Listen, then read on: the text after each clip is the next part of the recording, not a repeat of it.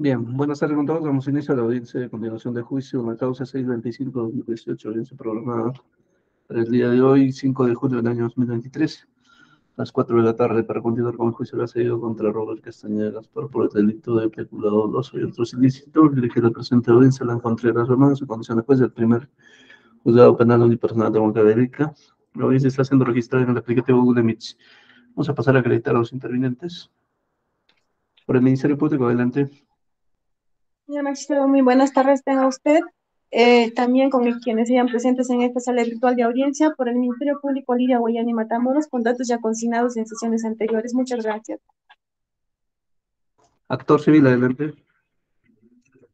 Señor magistrado, muy buenas tardes. Asimismo con la señorita fiscal y todos los presentes que se encuentran en esta sala virtual en representación de la Procuraduría Pública Anticorrupción Descentralizada de Huancavelica el abogado Alfredo Hilario Morán con los mismos datos señalados en sesiones anteriores, señor magistrado. Muchas gracias. Bien, defensa. Buenas tardes, señor magistrado. Buenas tardes con todos los presentes. Como abogado del imputado, el abogado Guillermo Huizapeitán, con demás datos que ya obran en autos. Gracias, señor magistrado. Acusado Roberto Castañeda. Señor magistrado, tenga usted muy buenas tardes. Señora fiscal, tenga usted muy buenas tardes. Eh, presente en la presente audiencia con los mismos datos consignados en las audiencias anteriores. Muy buenas tardes. Gracias. Bien. Doctora Rosario, doctora Rosario, ¿algún escrito pendiente por resolver? Buenas tardes, señor magistrado. Con los inscritos en la plataforma, doy cuenta que el día de la fecha, la representante del Ministerio Público ha hecho llegar la declaración del señor Roberto Casañeda Gaspar.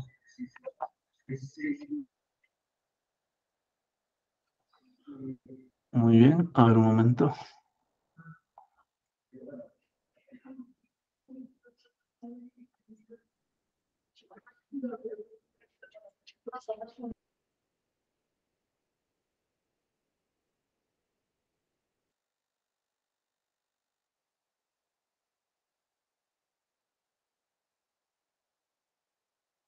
Muy bien, el escrito presentado por la representante del Ministerio Público en relación a la declaración previa del acusado, en todo caso se anexa judicial. Se introduzco en, en, este plenario cuando corresponda. Bien. A ver, se había terminado con, ya, se había terminado con la realización de las piezas documentales parte del Ministerio Público por la relación que figura en el auto de enjuiciamiento.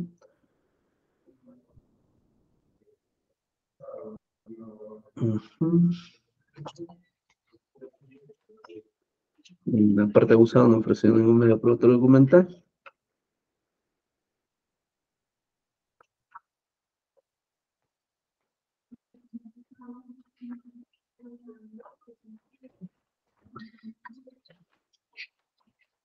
De acuerdo al acta de fecha 21 de junio del año 2023, se dispuso la reprogramación de esta audiencia para el día de hoy.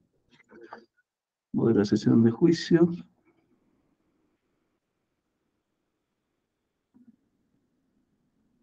Indicando que se encontraba pendiente la declaración del acusado. Y otra incidencia que peticionó el Ministerio Público, esta es la lectura de declaraciones previas. Bien, al respecto, la señorita fiscal, respecto a este último punto. Sí, señor magistrado, sí. Eh, sí, conforme se ha verificado en el desarrollo de este juicio oral la declaración o la presidencia de ciertas declaraciones testimoniales, es que nos hemos reservado a efectos de poder oralizar al señor, magistrado a sus declaraciones previas. Eh, es así que eh, se tiene de autos del, del debate probatorio que se ha prescindido la declaración del señor Carlos Sobrevía Laurente, y eh, de quien, señor magistrado, mediante disposición fiscal 5 del 2 de abril del año 2018 se ha requerido su eh, declaración, habiéndose notificado dicha disposición al señor Castañeda Gaspar, con cédula de notificación 2181-2018, notificada a García de los Godos 136 que ha señalado como domicilio, señor magistrado. Es decir, se encuentra válida, tenía pleno conocimiento del desarrollo de esta diligencia el acusado. Por lo que, eh, si se me permite, por favor, dar lectura a su declaración.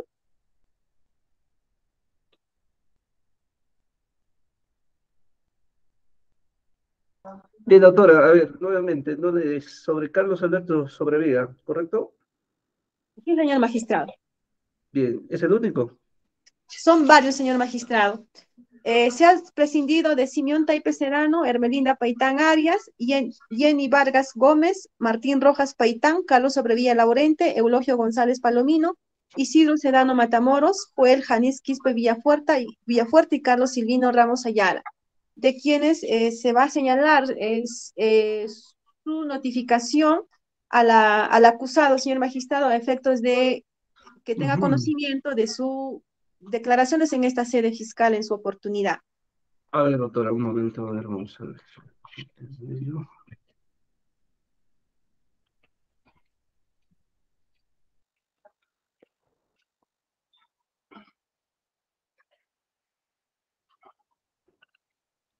Bien, esas declaraciones previas, eh, no sé si estarán en el expediente, vamos a revisar.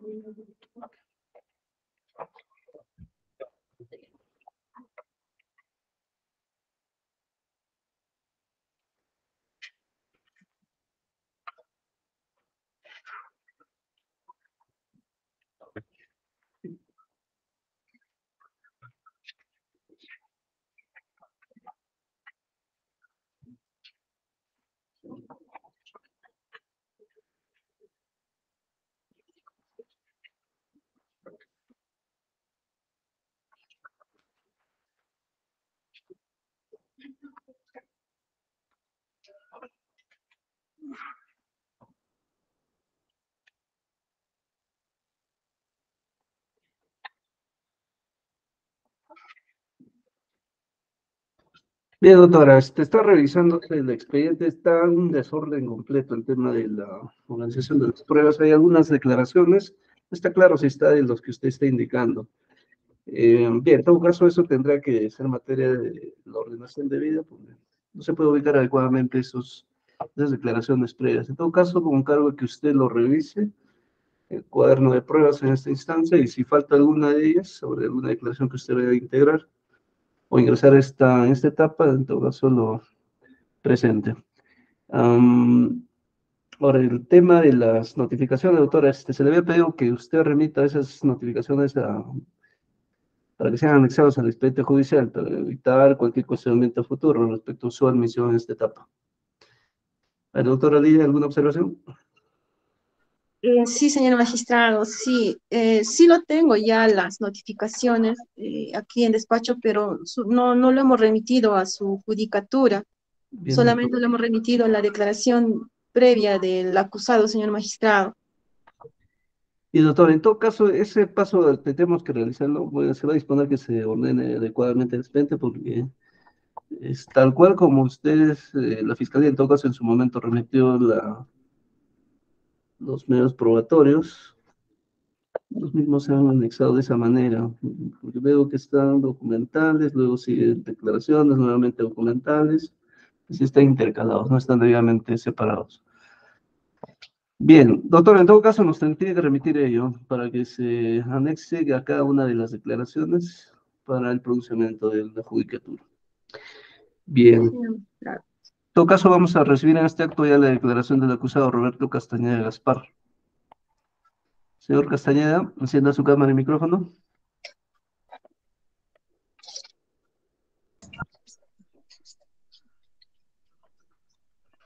Magistrado, señor. señor, usted tiene que estar en un lugar fijo para que declare este juicio.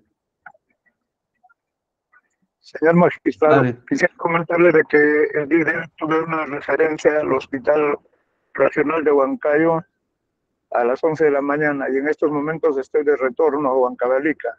Gracias a Dios hay una hay línea en esta parte de Palca y estoy participando precisamente, señor magistrado. Por favor, espero su comprensión. Doctor Guillermo, pero ya se había convocado ya su patrocinado para que preste declaración. Sí, señor magistrado. Este, sin embargo, señor magistrado, mi patrocinado, este, bueno, va a abstenerse de declarar haciendo uso de su derecho correspondiente, señor magistrado. Ya, muy bien. Correcto. Entonces, a través de su defensa técnica, el acusado reitera su, bueno, reitera en este caso su, su derecho que tiene en este juicio a prestar declaración. Bien, en todo caso vamos a proceder a que se dé lectura de la declaración del acusado Roberto Castañeda Gaspar, efectuado en las instalaciones de la Fiscalía Provincial Corporativa Especializada en Delitos de Corrupción de Funcionarios de Huancavelica el día 23 de enero del año 2018. Bien, en esta declaración del, se que se ha participado la representante del Ministerio Público,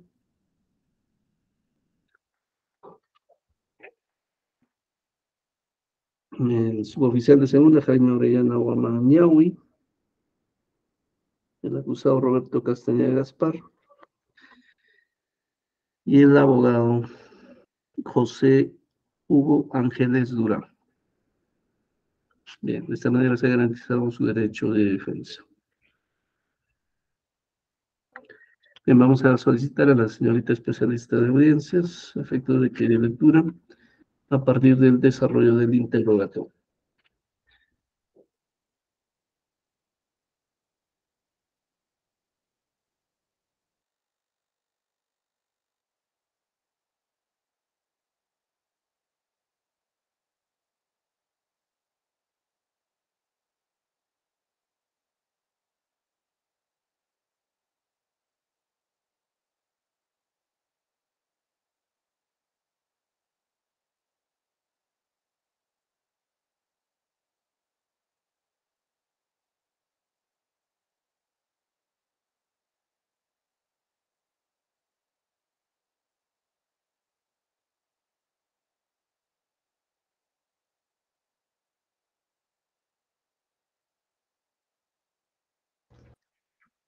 Señor magistrado, procedo a dar lectura a la declaración del señor Roberto Castañeda Gaspar. Pregunta 1. ¿Se encuentra usted en buenas condiciones físicas, psicológicas y mentales para que declare en la presente investigación? Respuesta. Sí me encuentro en buenas condiciones físicas, mentales y psicológicas para declarar en la presente investigación. Pregunta 2. ¿Ha sido usted investi- investigado anteriormente por el mismo hecho o por otros? De ser así, señale y proporcione los datos que permitan identificar el proceso o procesos seguidos en su contra. Respuesta. No, nunca fui investigado por ningún motivo. Esta es la primera vez. Pregunta número 3. Precise usted qué bienes muebles e inmuebles tiene, dónde se encuentran ubicados, quién los posee y qué título y si se encuentran libres de gravamen. Respuesta, no tengo ningún bien, mueble ni inmueble de mi propiedad. Pregunta 4. Diga usted, ¿a qué actividad se dedica, desde cuándo y cuáles son sus funciones, atribuciones y obligaciones? Respuesta, actualmente me dedico a la docencia desde hace más de 25 años. 25 años.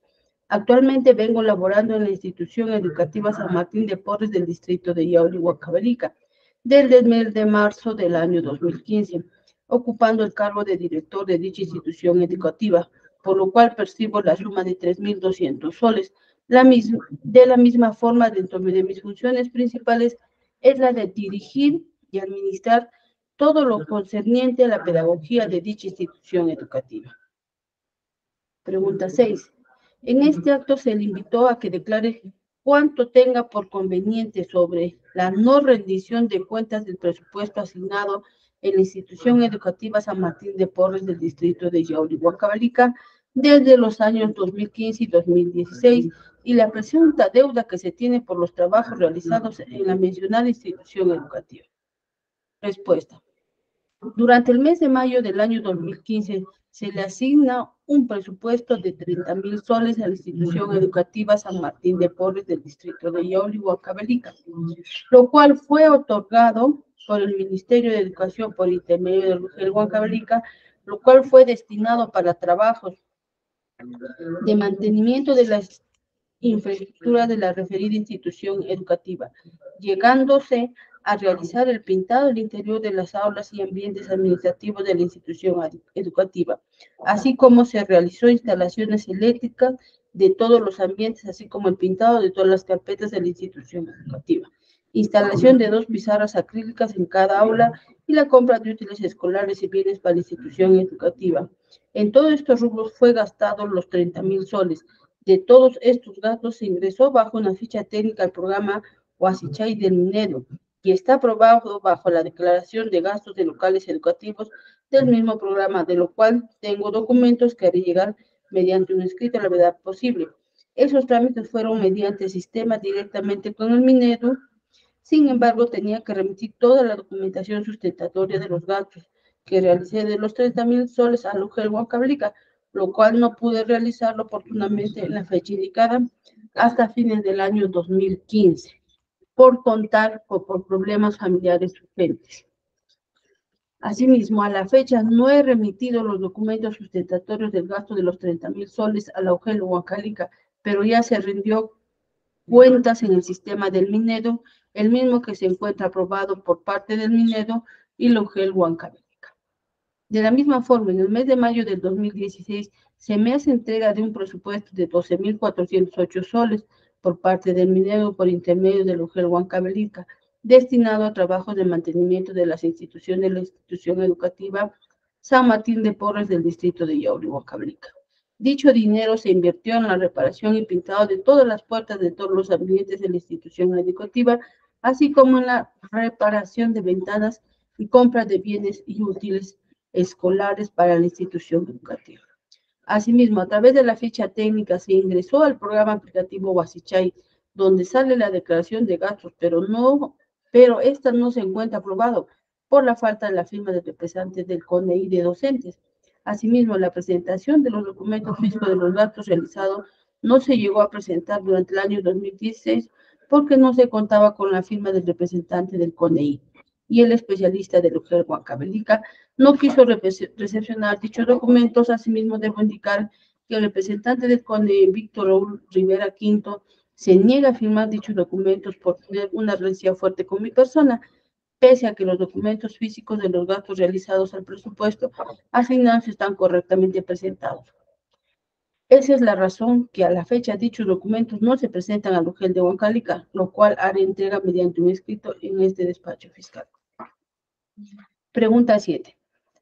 Precise usted si recepcionó el presupuesto de mantenimiento asignado a la institución educativa San Martín de Porres del distrito de Yauli, Huancavelica, durante los años 2015 y 2016, y a cuánto asciende este monto? Respuesta. Sí llegué a recibir dicho monto, lo cual me fue depositado en una cuenta corriente que se me habilitó específicamente para el depósito de dinero destinado al mantenimiento de la institución educativa en mi condición de director de dicha institución educativa minera depositado a mi cuenta directamente la suma de 30 mil soles el año 2015 y 12 mil 408 el año 2016. Pregunta 8.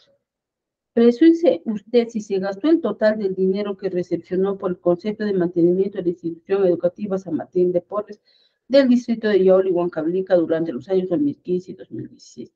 Si se llegó a gastar, respuesta, si se llegó a gastar la totalidad del dinero en el mantenimiento de la institución educativa San Martín de Porres de Yauri. Por eso se rindió cuentas en el sistema Huaschay del minero. Pregunta número 9.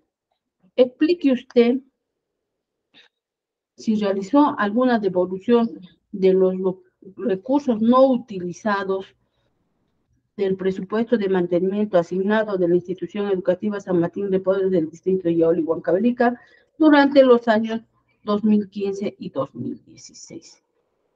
Respuesta. No, porque se gastó todo el presupuesto en su totalidad. Pregunta número 10. Precise usted si en el tiempo prudencial realizó las correspondientes rendiciones de cuentas por el presupuesto de mantenimiento asignado a la institución educativa San Martín de Porres del distrito de Yauli, Huancalica, durante el año 2015 a 2016? Respuesta. Sí, en el sistema aplicativo Huasichay sí se ingresó la rendición de los gastos de las fechas oportunas. Sin embargo, rendición la gasto de fechas oportunas. Sin embargo, como ya indiqué anteriormente, los documentos físicos no los llegué a entregar al Ojel Huancalica hasta la fecha, ya que en el año 2015 no los entregué por estar con problemas familiares y en el 2016 por la falta de la firma del representante del CONEI de docentes. Pregunta número 11. Explique usted qué tiempo tenía para hacer la rendición de cuentas del presupuesto de mantenimiento asignado a la institución educativa San Martín de Porres del distrito de Yauli, Huancalica. Respuesta. El tiempo estimado para realizar la rendición de cuentas es durante todo el año al que corresponde el fondo que se habilita. En este caso tenía un plazo para rendir cuenta a los fondos que me habilitaron todo el 2015 y 2016 respectivamente. Posterior a esto, el sistema se bloquea y se tiene que realizar un trámite especial. Pregunta número 12. Explique usted los motivos por el cual no realizó la rendición de cuentas del presupuesto de mantenimiento asignado a la institución educativa San Martín de Porras del distrito de Yauri, Huacablica. Respuesta. Sí se realizó la rendición de cuentas en el sistema aplicativo Huasichay del Minedo.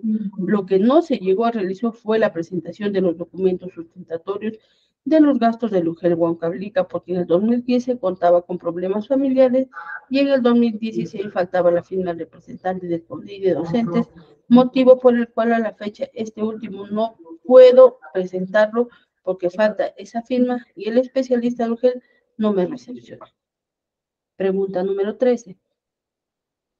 Precise usted si en la actualidad ya realizó la rendición de cuentas del presupuesto de mantenimiento asignado a la institución educativa San Martín de Porras del distrito de Yauli. Respuesta.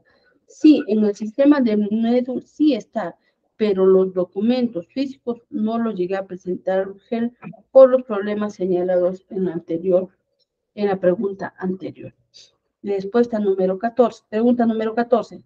Precise usted si realizaron una visita de inspección de parte del UGEL Huancavelica para constatar y verificar los trabajos ejecutados por el presupuesto de mantenimiento asignado a la institución educativa San Martín de Porres del distrito de Yauri, Huancalica, en el año 2015 y 2016. Respuesta. Sí se constituyeron en el año 2016 funcionarios del UGEL Huancalica, un especialista de mantenimiento de locales institucionales de quien no recuerdo sus datos porque paran cambiando de especialistas y también del Ministerio de Educación, de la oficina de PRONIET, de quien tampoco recuerdo sus datos, las mismas que tomaron vistas fotográficas. Pregunta número 15. Explique usted si al realizar la rendición de cuentas del presupuesto de mantenimiento asignado a la institución educativa San Martín de Porres del distrito de Yauli, Huancalica, lo hizo de conformidad a la ejecución del programa de mantenimiento de infraestructura inmobiliario de los locales escolares para el año a nivel regional? Respuesta. Sí se realizó de acuerdo a dicho documento, ya que existe una directiva que indica todo el procedimiento a seguir para la rendición de cuentas. Pregunta número 16.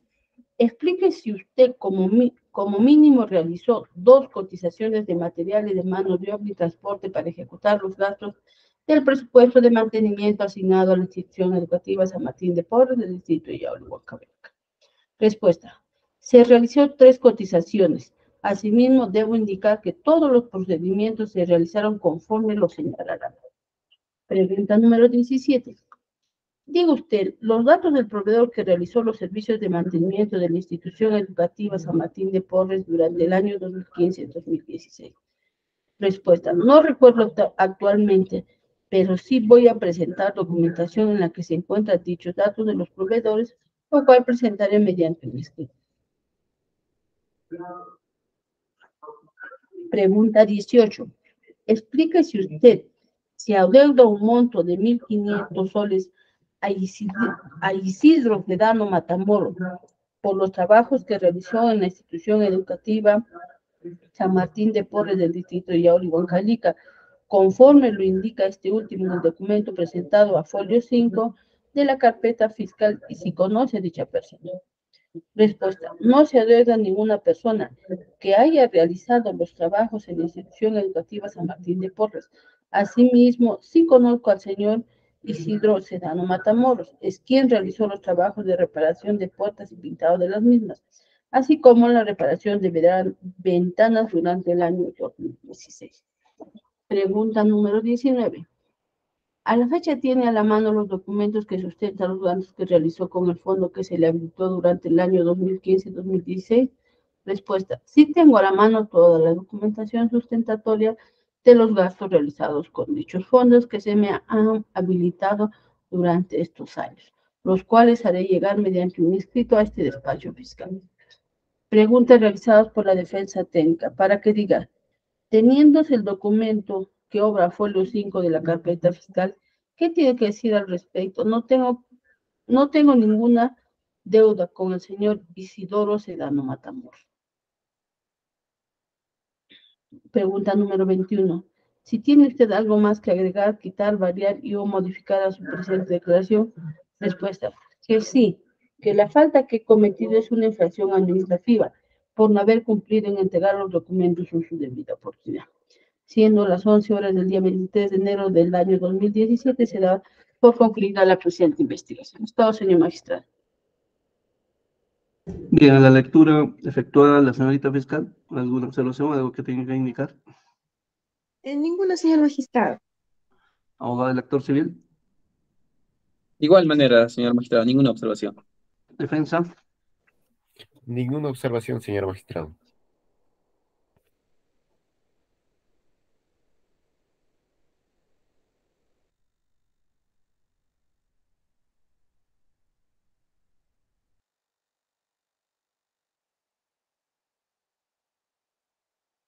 Muy bien, correcto.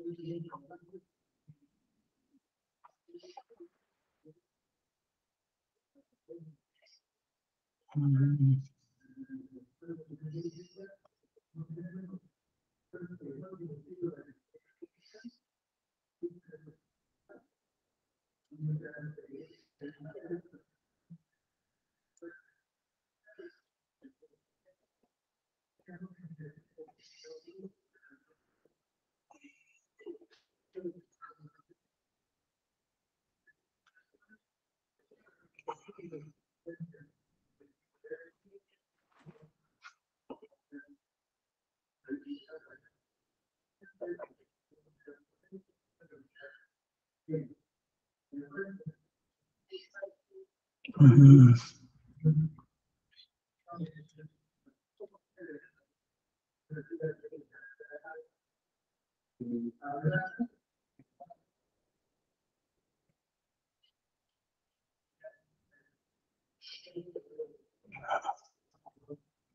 Thank you.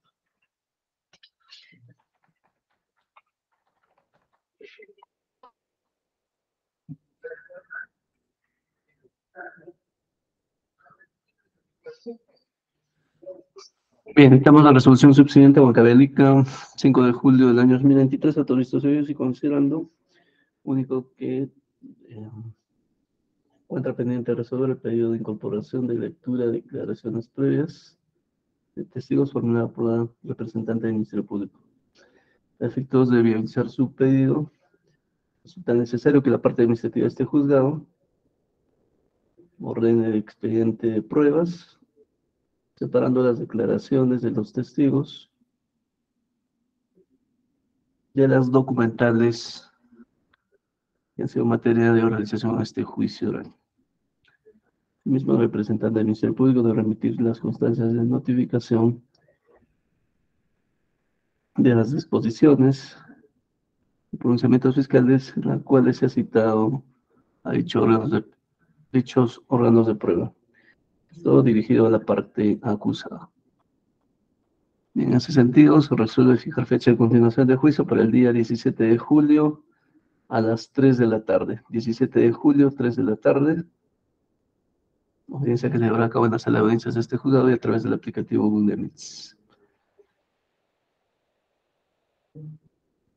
Bien, se requiere al área administrativa, en este caso el especialista o la especialista que está tramitando este juzgado, ordena adecuadamente el expediente judicial separando las declaraciones previas de los testigos de las documentales.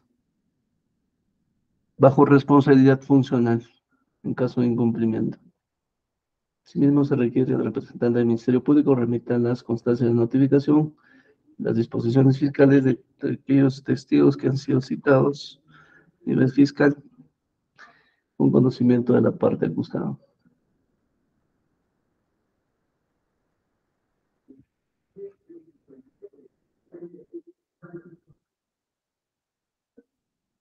Bien, con los apercibimientos que ya se han decretado anteriormente. A lo resuelto, la señorita fiscal, Conforme, señor magistrado. abogado del actor civil, Conforme, señor magistrado. doctor Guillermo, Conforme, señor magistrado. siendo las 16 horas con 32 minutos, culminamos esta audiencia. Buenas tardes con todos. Buenas tardes, permiso. Buenas tardes con todos, permiso.